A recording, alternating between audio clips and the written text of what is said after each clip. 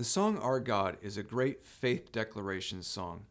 And it's, it's strong in the sense that it can really take somebody who maybe doesn't necessarily feel the, the words and the, the truth of the lyrics that are being sung in that moment, but there is something about it that just lifts them and causes them to put their eyes on the Lord.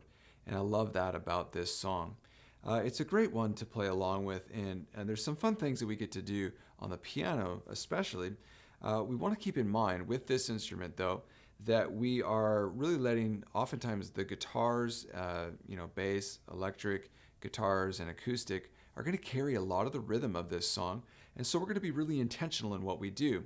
And we're going to be centered right in the middle of the keyboard in that kind of octave range, nothing too high, nothing too low.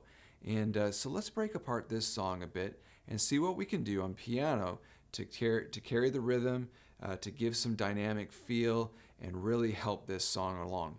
Um, it's going to be in 4 4 time signature, and it's 105 beats per minute, and we're going to be doing this song in the key of G. So let's get ready and take a look at the song Our God on the keys.